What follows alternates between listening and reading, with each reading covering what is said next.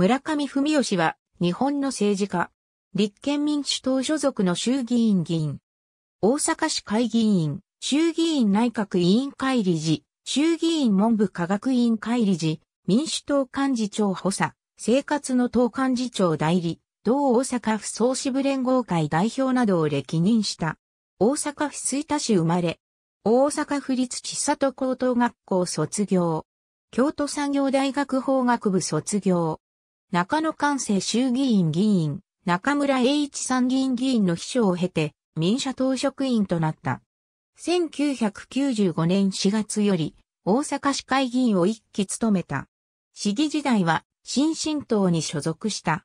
2000年6月の衆院選に大阪4区から自由党公認で出馬するも落選。2003年11月の衆院選に大阪6区から民主党公認で出馬するも落選。2005年9月の衆院選に大阪6区から民主党公認で出馬するも落選。2009年8月の衆院選に大阪6区から民主党公認で出馬し、初当選。2012年の消費増税をめぐる政局では、野田内閣による消費増税法案の閣議決定に抗議して、党幹事長補佐の辞表を提出し、4月23日の党役員会で受理された。6月26日の衆議院本会議で行われた消費増税法案の採決では、党の賛成方針に反して反対票を投じた。7月2日には山岡健二らを介して離党届が提出された。民主党は7月3日の常任幹事会で離党届を受理せず除籍処分とする方針を決定し、7月9日の常任幹事会で正式決定した。同年7月11日に国民の生活が第一の決闘に参加した。その後、日本未来の党に合流。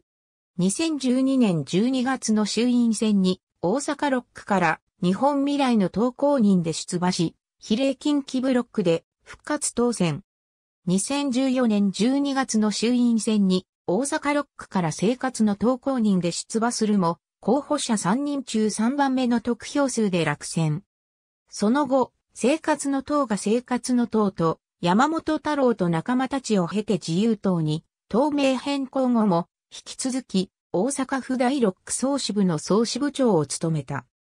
2017年の第48回衆議院議員総選挙直前に起きた希望の党をめぐる野党再編の混乱を受け、自由党は同選挙において候補者に公認を出さないことを発表した。これを受け、大阪6区から立憲民主党公認で出馬し、小選挙区で敗れたものの比例復活で国政復帰。ありがとうございます。